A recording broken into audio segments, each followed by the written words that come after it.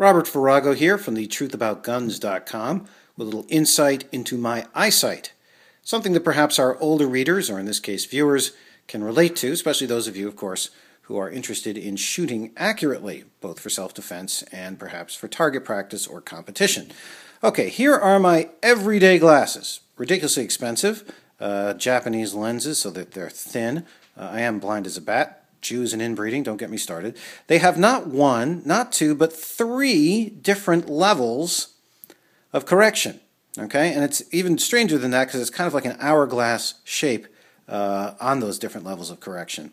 Now, I can use these glasses to see up close, kind of, see far away, certainly, and see middle distance. Okay, but the problem is that if I'm doing work with, say, a computer, let's say I was, I don't know, blogging 10 hours a day, uh, those aren't any good because I have to exactly position the computer screen in the middle to be able to see that well, and the computer screen being about uh, a foot away from my eyes. So I have these glasses, which just have the middle distance. Okay? So they're kind of like reading glasses. You might want to think of it that way. And they're one type of correction. Okay, that's all very well and good, except when I go outside, in which case I have to have these sunglasses, which also have three levels of magnification. So these are basically those, but uh, polarized and all that stuff, and these are for close in. Now, there comes to be a real problem here, and that is that if I want to see the sights on my gun, I have to tilt my head back so that I'm looking, I have to do this one hand there, looking point with my thumb, I have to be looking through the bottom half uh, bottom third of these glasses, which means my head is tilted way back, and in a defensive gun use, I probably won't remember to do that. I'll just be tilting my head forward. In fact, tilting your head forwards is probably a better way to hold your head, so that doesn't work. See, if I want to see, taking out my Caracal carry piece, if I want to see those sights, I have to tilt my head back in order to see the sights, and then, of course, I can't see anything further out. So not an ideal setup, to wear these or these or these. So I have these.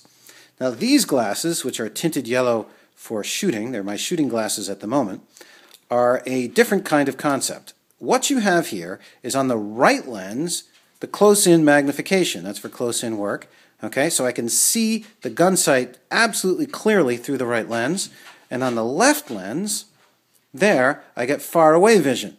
So what that means for those of you keeping score, is that I've got uh, this lens here, which is the close-in uh, lens, on the right side, and I have the top part of that on the left side. So I've got one eye that I can see, oops, sorry, one eye that I can see the sights absolutely perfectly, and another eye on the left where I can see things far away so that I can actually see the target.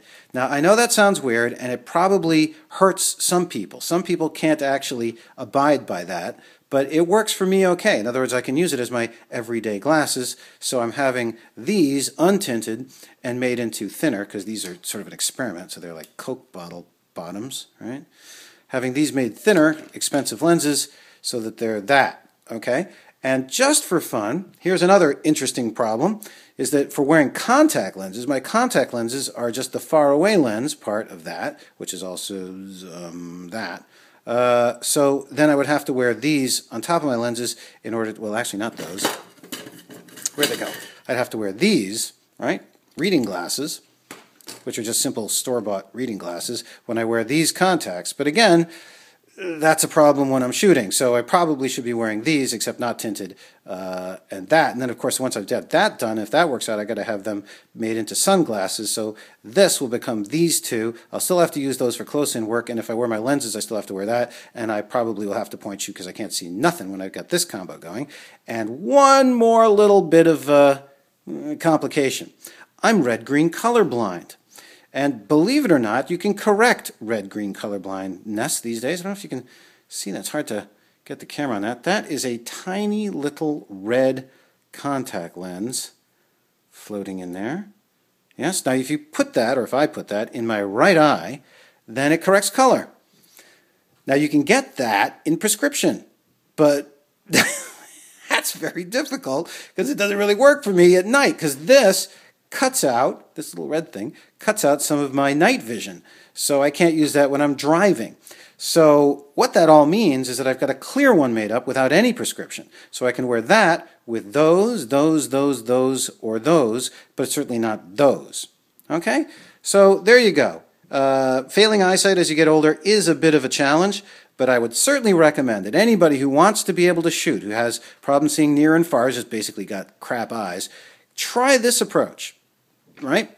Where you have the uh, close-in lens on the right and the faraway lens on the left. It feels a bit weird initially when you're doing it, but uh, if your brain can handle it, uh, you average it out, and you can still see far, still see near, uh, it'll work out well. Of course, the only problem is, of course, when I have those, I still need those for computer work. So I would have, again, I'd have a pair of these that are those, uh, and wear those for close-in work, and not have those, we'll also have a pair of those that are those, and uh, not wear these unless I'm wearing that, and not wear that uh, with th with those because those would be three contact lenses wouldn't make sense and that doesn't work with well that would work with anything because it's clear so it could work with that but I wouldn't use those unless I'm using that so these would this would go with this this and this but this will only be these two will be this redone okay everybody clear? Uh, I may create a flow chart if I get a chance. In any case there is an answer to those of you who want to be able to see your front sight see far away at the same time. Check it out